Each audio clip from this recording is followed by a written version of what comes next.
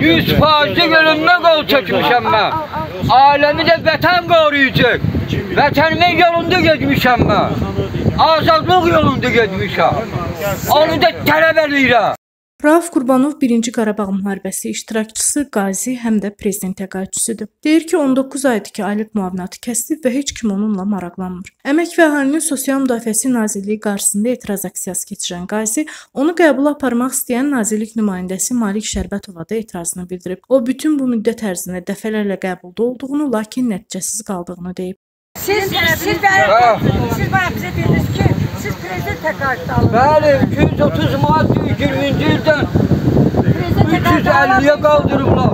475 manat Belə departamentdən alırdım. prezident- 19 aydır bir dənə köpəyonlu qapımı açmır ki, bu adam nə yiyir? Kəsiblər pensiyamı 19 aydır mən düşmüşəm dilənməyə. Müəllim, biraz səbir Bu nə deməkdir? Nədir bunun adı? Müəllim, gedək içəri. Mənəm vətən xani. Ya kimsə oturub burada rigurovka eləyir. Bəs də girir, dağıtdı. Göz qabağında mən 66 il yaşamışam. Mən həyatım... Malik müəllim, sizə bir sualım olacaq. Mən azadlığımın yolunda bir dənə qranat verməni partlatmasam kişi deyiləm.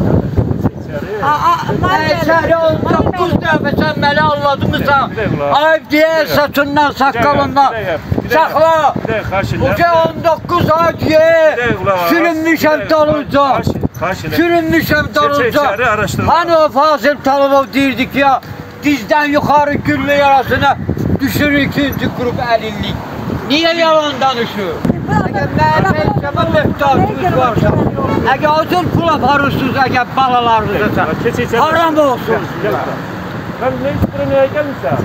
Deyə gəlmişəm sözümü deməyə. Sözü dedi ki, Heç kəs məni dinləmir. Müəllim, keç- 10 dəfə sənə müraciət Mən 50 eləmişəm. Ayıbdır sənin üçün. Bir dəqiqə qulaq as. Mən səninlə danışmaq istəmirəm. Həmişə siz demişəm.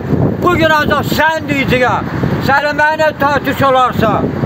Yalandan vətəndən danışırlar. Bayraq qaldırırlar. Çəkin. Artistlik edirlər şəhərin ortasında. Çəkin,